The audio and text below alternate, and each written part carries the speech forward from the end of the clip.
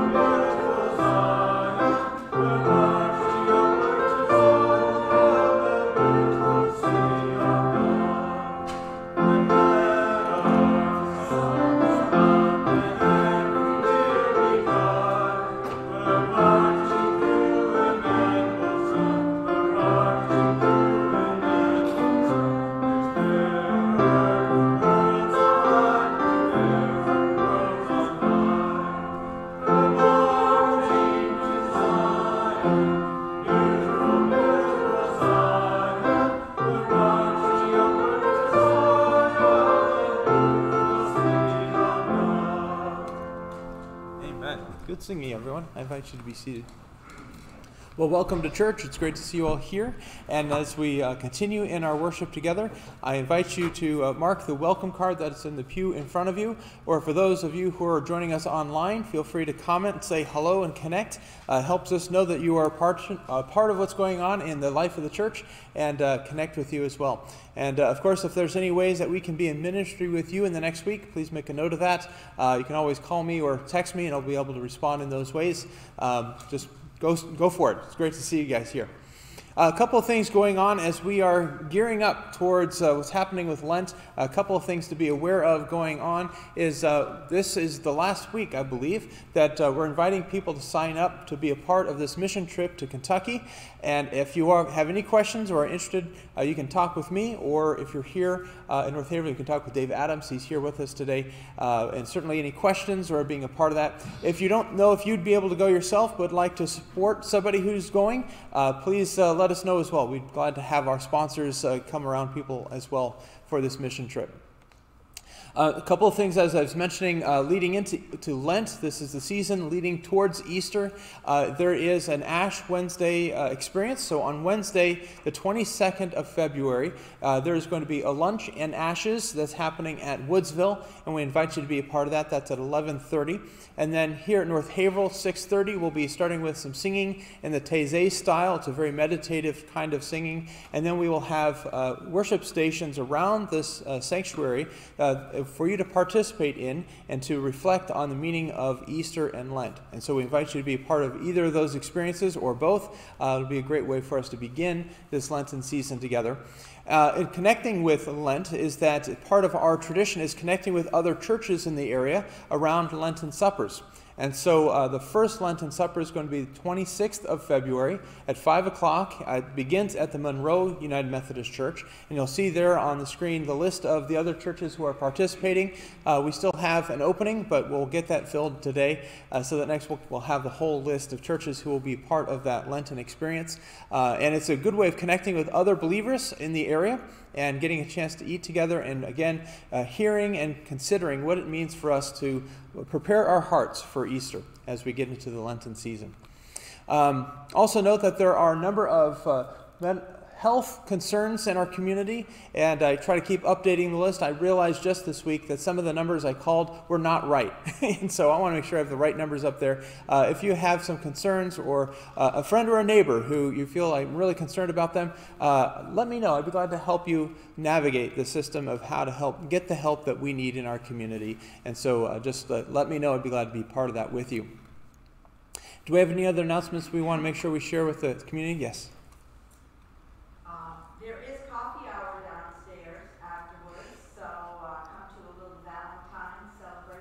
Fantastic. Okay, fellowship downstairs after church.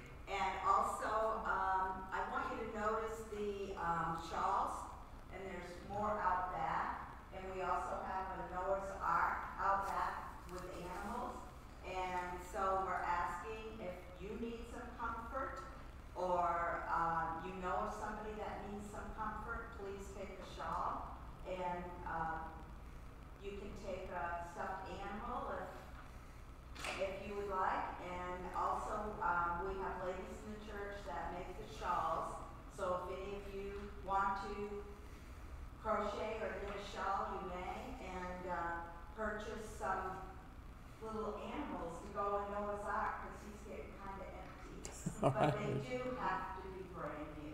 Very good. Thank you, Ruthie. So, uh, for those who are online, just know Ruthie was describing we have prayer shawls and even prayer animals uh, that can go to those who are looking for comfort and know that uh, those are a symbol of our prayer and care for our community. And uh, if you are interested in uh, receiving one of those, uh, please let us know. and Ruthie is here to help connect with you on that as well.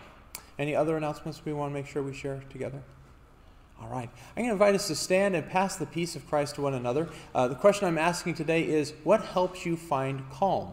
And so if you're online, feel free to put that in the note. Otherwise, uh, I invite you to do so. We might not give the hugs and kisses today, but you might do an elbow bump or a fist bump if you feel, feel led to do that.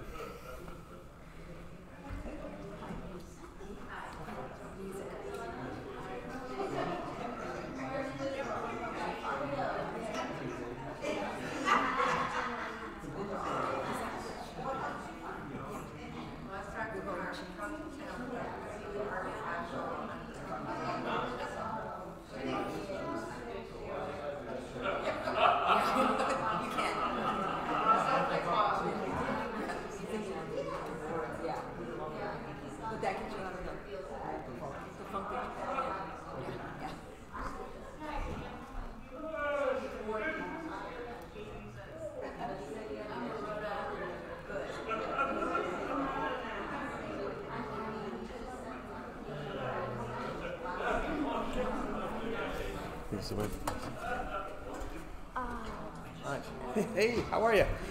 So, our children's moment today, Parker is again our uh, youth representative today. Glad to see you. Do, do that. Boom. Very good.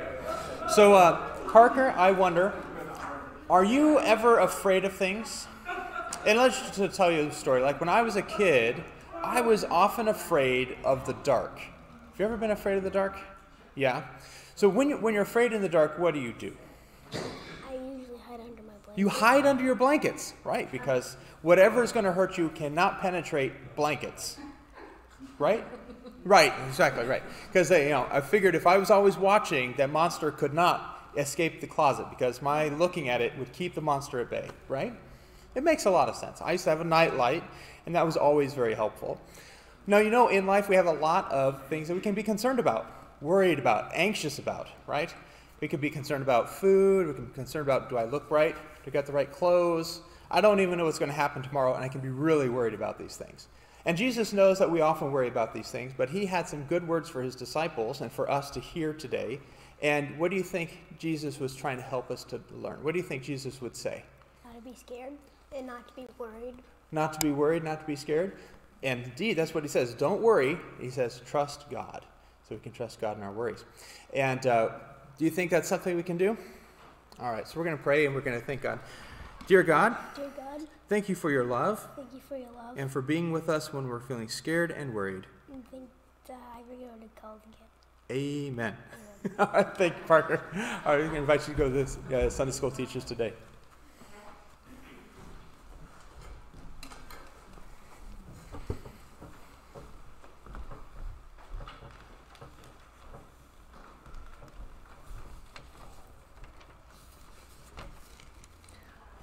Our scripture this morning is from the book of Matthew, chapter 6, verses 25 through 34. Therefore, I tell you, do not worry about your life, what you will eat or drink, or about your body, what you will wear. Is not life more than food, and the body more than clothes? Look at the birds of the air. They do not sow or reap or store away in barns, and yet our heavenly Father feeds them. Are you not much more valuable than they? Can any one of you, by worrying, add a single hour to your life? And why do you worry about clothes? See how the flowers of the field grow. They do not labor or spin. Yet I tell you that not even Solomon in all his splendor was dressed like one of these. If that is how God clothes the grass of the field, which is here today and tomorrow is thrown into the fire, will he not much more clothe you, you of little faith? So do not worry, saying, What shall we eat, or what shall we drink, or what shall we wear? For the pagans run after all these things, and your heavenly Father knows that you need them. But seek first his kingdom and his righteousness, and all these things will be given to you as well. Therefore, do not worry about tomorrow, for tomorrow will worry about itself. Each day has enough trouble of its own. The word of God for the people of God. Thanks be to God.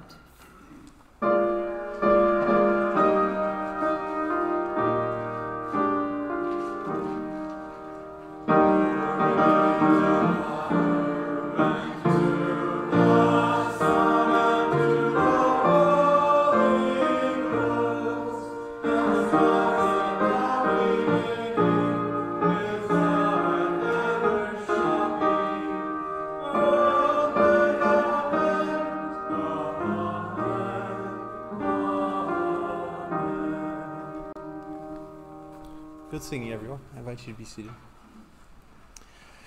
All right, I invite you to be seated. So, as we are uh, continuing in our study of the life of Jesus and hearing about things that Jesus would encourage us to do in our lives, we come upon this passage of Scripture that tells us, don't worry. And he talks about a number of things not to worry about. Uh, certainly, there is much more that Jesus talks to the disciples about in his Sermon on the Mount. Um, I'm only highlighting a few of the, the key pieces and things that I think are relevant for our community. Uh, but uh, if you want to get more in depth with what's happening in the Sermon on the Mount, I just want to encourage you one more time be a part of one of those small group experiences where we're really looking through each of those pieces of the Sermon on the Mount, discovering how we can live them out in our lives. Uh, it's an important part of how we grow in faith. But today, talking about worry, as I was talking with Parker, there's a lot of things we can be scared about, things we can be worried about.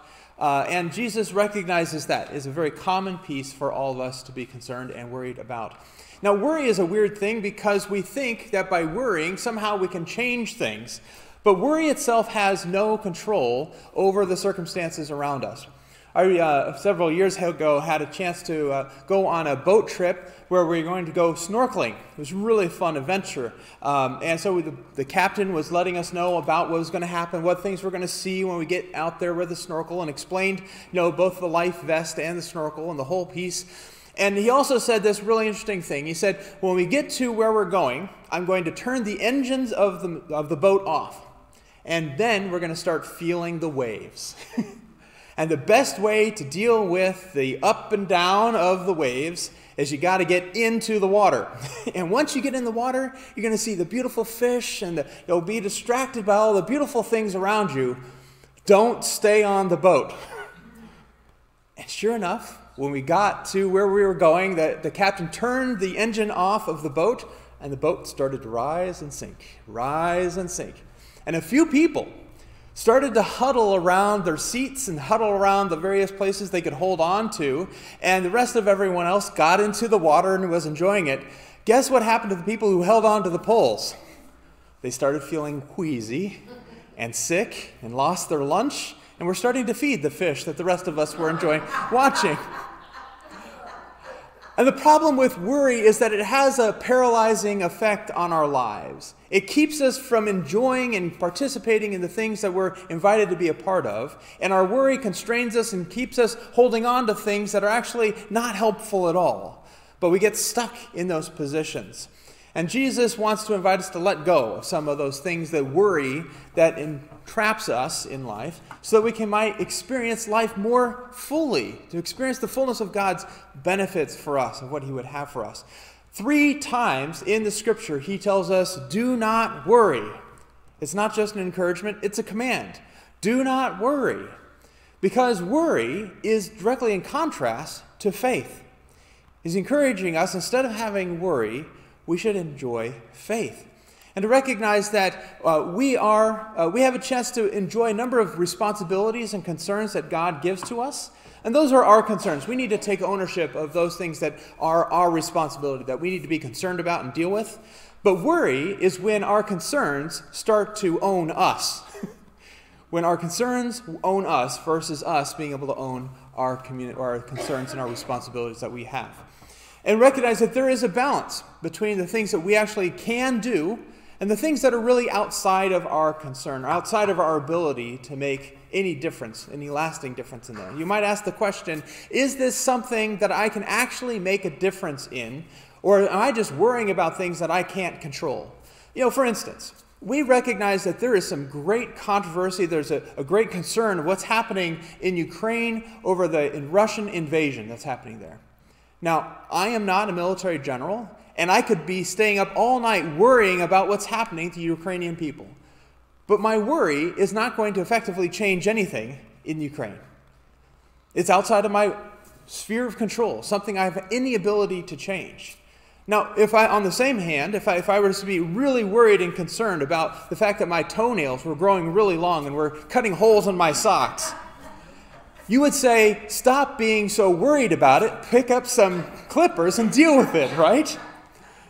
God has given us some things we can do, and there's also many things we can't do. And so we have to understand the difference there. There's a great prayer. Some of you know this is the Serenity Prayer uh, by Reinhold Niebuhr. Uh, he wrote, you know, God grant me the serenity to accept the things I cannot change, the courage to change the things I can, and here's the key piece the wisdom to know the difference. it's important for us to understand what we can actually change and not be so worried or consumed by worry about the things that we really are outside of our control. And so Jesus wants the disciples to understand not to worry. He gives them that command several times. But what, and so, as Jesus is talking about this contrast of worry and faith, he wants us to understand that we're supposed to embrace faith. And in order to overcome worry, it's not just saying, well, I'm going to stop worrying.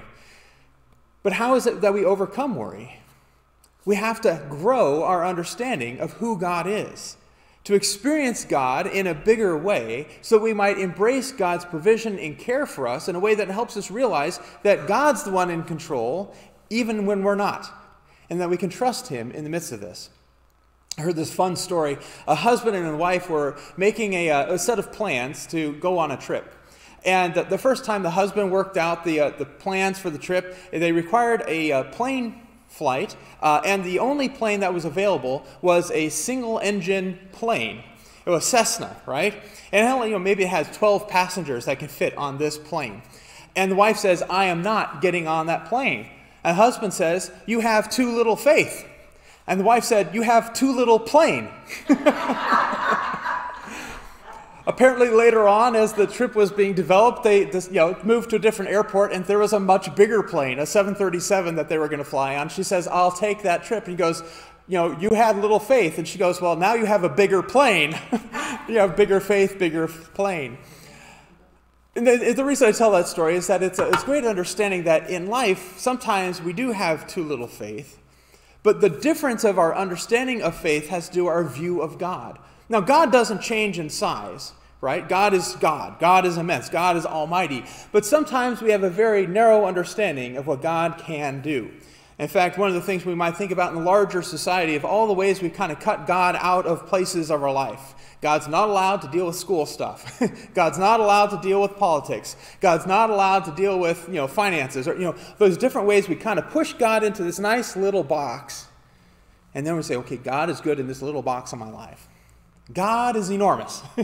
and when we have a myopic or a very small view of God, we miss out on the big piece of what God would have for us, how God wants to deal with the circumstances in our life, so he might understand, we might understand who God is and for us in our lives. And so we need to have a bigger view of God. So to overcome worry, we need to have and grow our understanding and our view of God to deal with our present dealings or circumstance of our lives. And so Jesus tells them that we need to, to look at the birds and the uh, flowers of the field as a way of example for having us understand what that looks like and how we deal with worry in those relationships with those things. Now, one of the things he's talking about with the birds is he recognizes that God provides for our needs, right? Look at the birds. They don't store up in uh, barns or they don't go to the bank and deposit their bird seed, uh, but God still provides for them every day. You know, the birds aren't wandering around, where am I going to get my, my next meal? Right? But one of the things we recognize with the birds, while they are not worrying, standing around worrying, they're busy. they're doing what they know they need to do which is going to find that grub, going to find that seed, going to find their next meal, because they know that's something that they can do. It's in their sphere of responsibilities that they're going to do that. And they know that when they do their part, God provides. When they do their part, God provides. A lot of times, uh, I think this issue with faith is that we're trying to do more than what God asks us to do, or we're not willing to do the one piece that God asks us to do. You know, as a church, we've often wondered, like, how are we going to provide for all the ministries that God calls us to be about? And God says, provide for me your tithe. Provide for me the what I've given to you, one portion of that. If you give that to God, because that belongs to God, if you give it to God as a responsibility we have to give to God, God will provide for all that is required. But God, I, am not sure. And so we end up with this doubt and this worry, this concern about whether or not we're actually able to fund the ministries that God calls us to do, while at the same time we're not letting God be in charge of our pocketbook. Just one interesting example.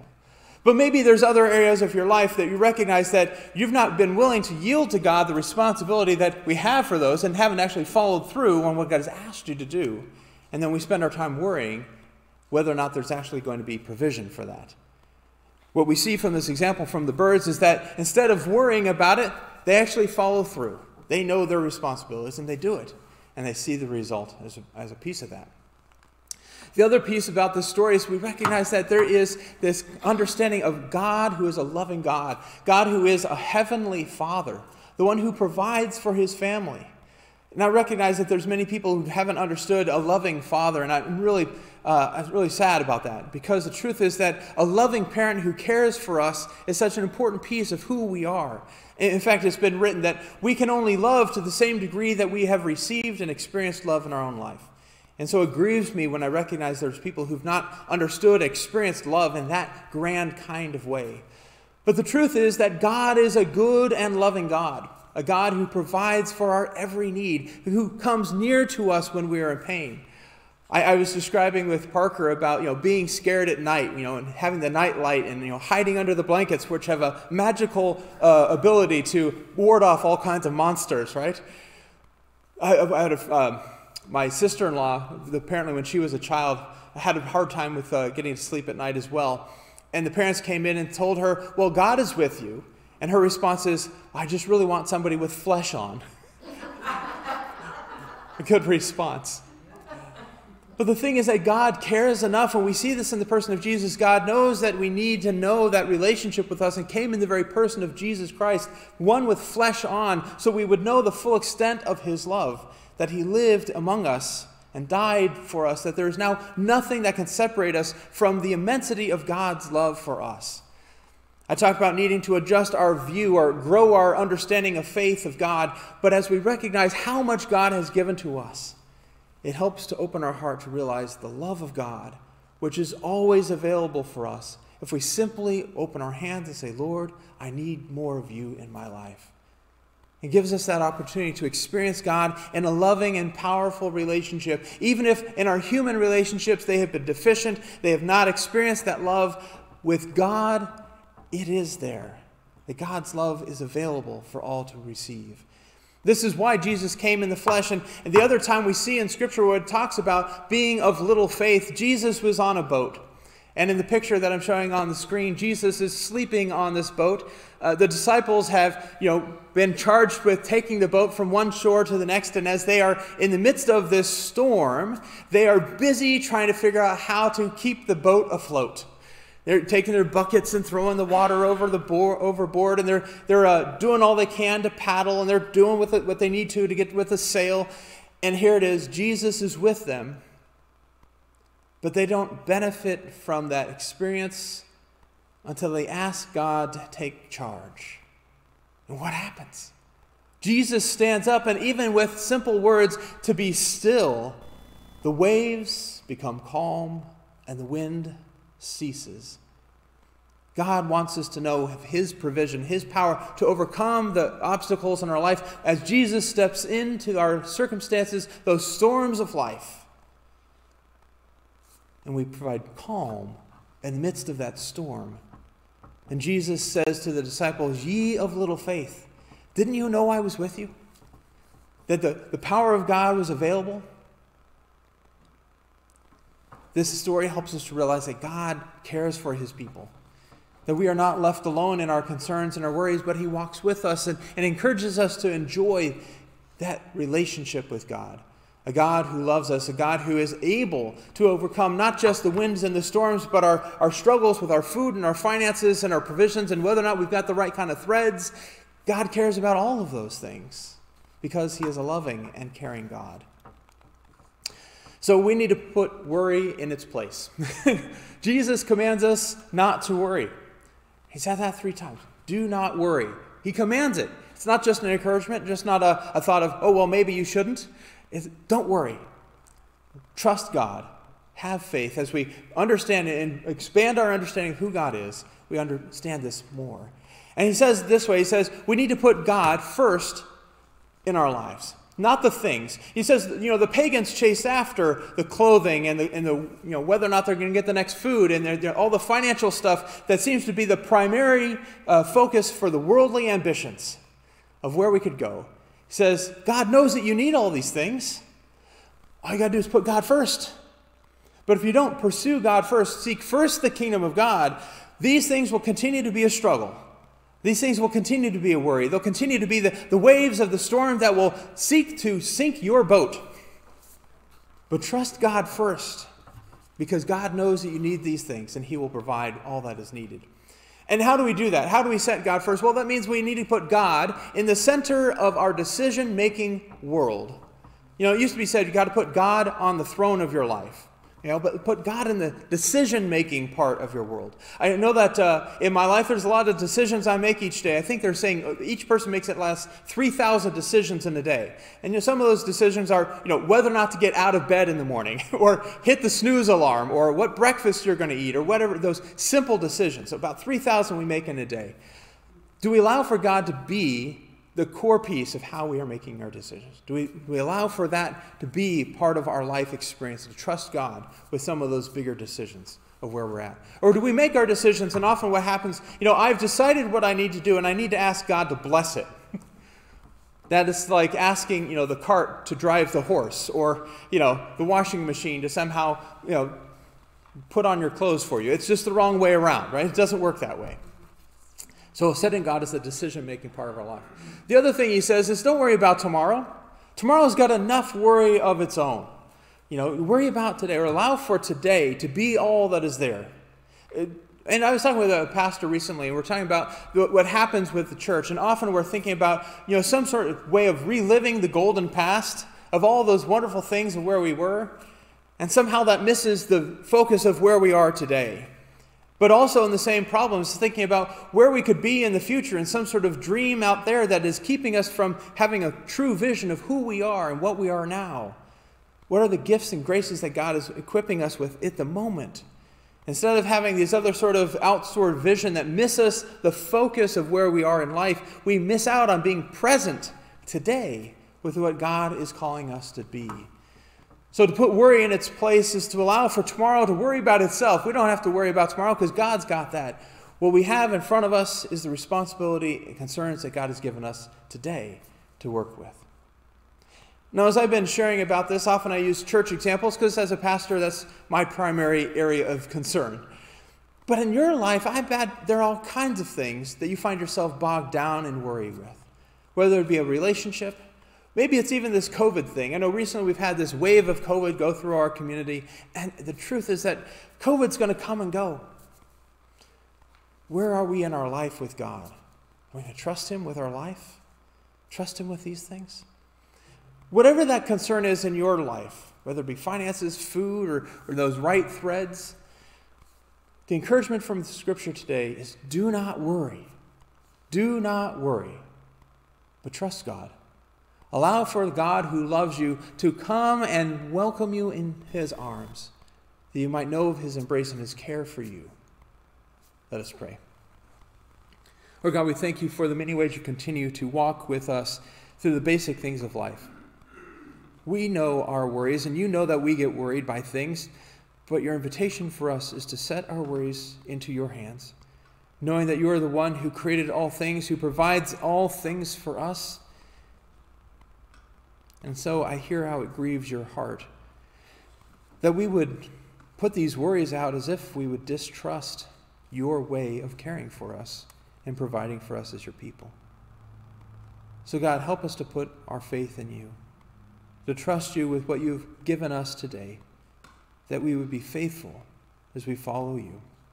And this we pray in Jesus' name. Amen. We're going to respond by singing hymn number 397, I Need Thee Every Hour.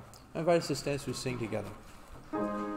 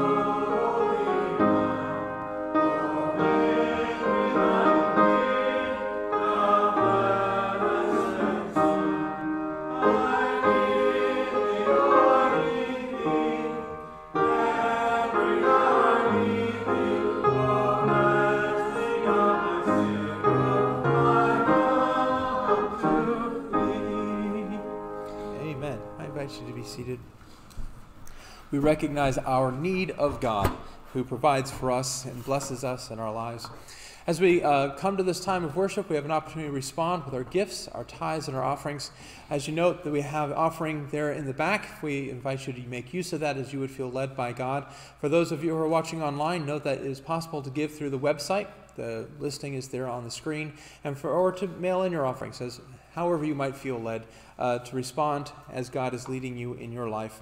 And as we recognize the many ways that God continues to provide for us, I invite us to respond with prayer of thanksgiving together. So let us pray. God, we thank you for the many ways you continue to care for us as your people. Even as we hear the story of the birds and the flowers and the ways you have cared for even the smallest of things, how much more even that you care for us, providing for our daily needs, guiding us, providing our, your love, your care for us. And so, Lord, as we respond with these gifts, help us to be faithful with all that we have, that indeed we would be faithful in the building of your kingdom through Jesus Christ, our Lord and our Savior, in whose name we pray. Amen. Let us sing the doxology together.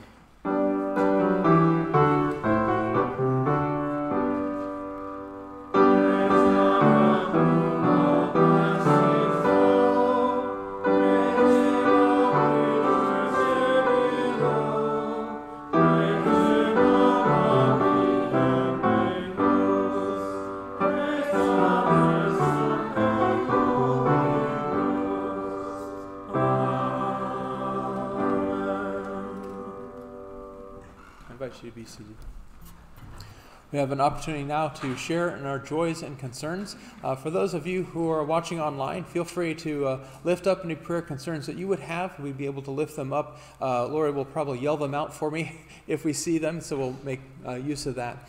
Uh, as we gather here, what concerns or joys do you have that you would want to lift up together as a people of faith? Charlene?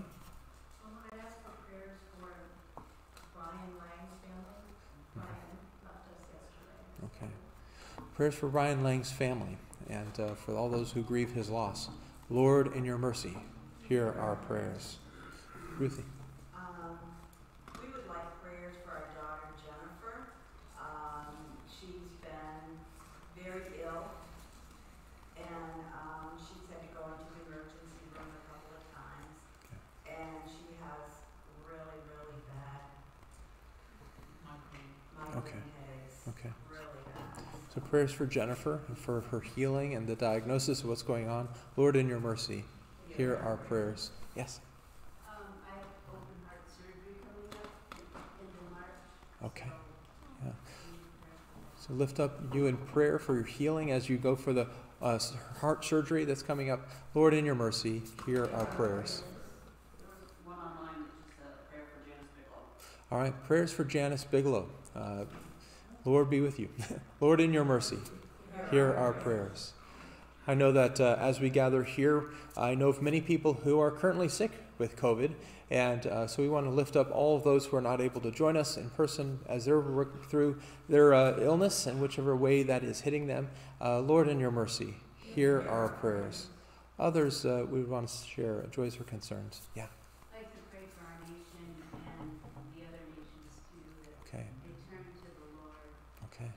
That. Indeed. So we lift up our nation and the world, and that we might seek the Lord together. And Lord, in your mercy, hear our prayers. Yeah.